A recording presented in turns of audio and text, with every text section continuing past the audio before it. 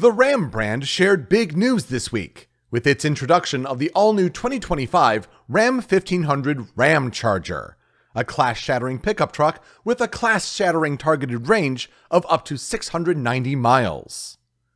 Built on the new STLA body on frame architecture for electric vehicles, the new Ramcharger is an electric vehicle with a gas generator that features a 92 kilowatt hour battery pack paired with an onboard 130 kilowatt generator.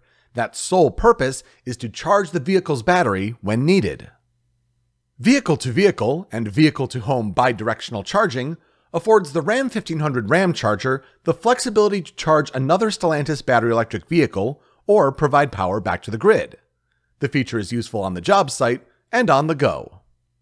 The versatile Ramcharger sees no sacrifice to towing or payload, with up to 14,000 pounds towing capacity and payloads of up to 2,625 pounds. For a limited time, consumers can go to ramrev.com to reserve a place in line to pre order the all new Ram 1500 Ramcharger.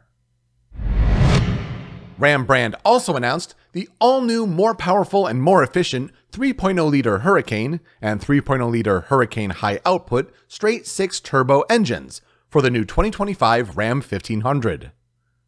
The 3.0 liter Hurricane engine is rated at 420 horsepower and 469 pound feet of torque, while the high output engine is rated at 540 horsepower and 521 pound feet of torque.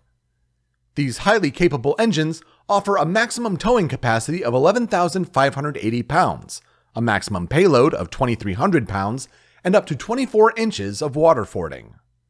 The new engine series makes for the most powerful six cylinder engines in its segment and brings more power, performance, and improved fuel efficiency.